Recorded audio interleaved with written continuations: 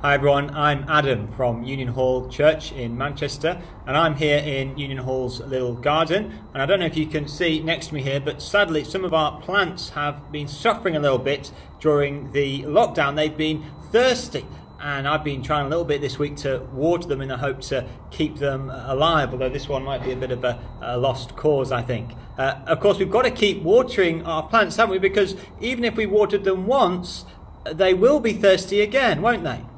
And this Sunday in our service, we're going to be thinking a little bit about this whole subject of thirst. In John 4, Jesus is speaking with a woman at a well, and he offers her something pretty remarkable.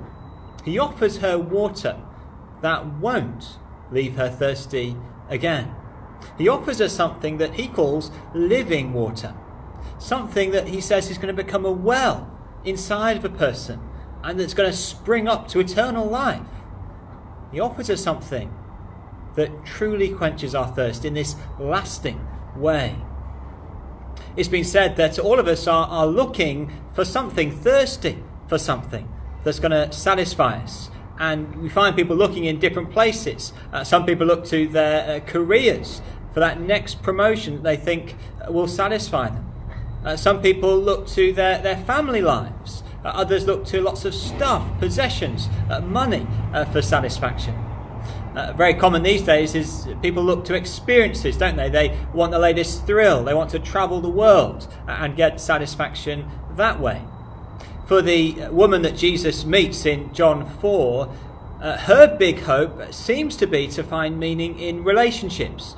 Uh, she's been through several husbands, uh, we're told, and yet she still uh, finds herself unsatisfied. Perhaps she's forever looking for that elusive Mr. Right.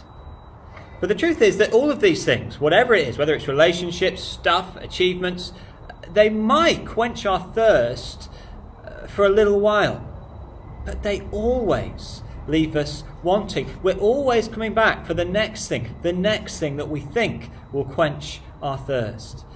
But Jesus in this passage offers us something different.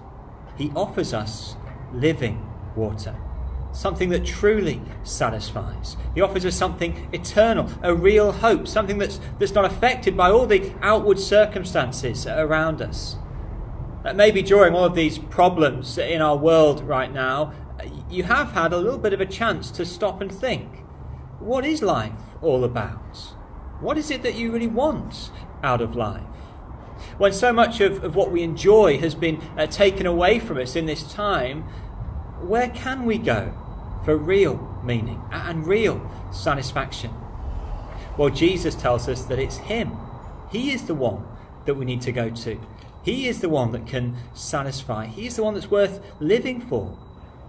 If you want to know more about this Jesus, please do get in touch with us via our, our website or our, our Facebook. Uh, email us. We'd love to talk to you more about this Jesus that is worth living for. Or why not join us for this coming Sunday service? You can join us either uh, on our Zoom meeting or check out our, YouTube channel, Union Hall, uh, as we meet together to consider this passage and this real satisfaction that Jesus brings. We'd love uh, to see you there if you're able.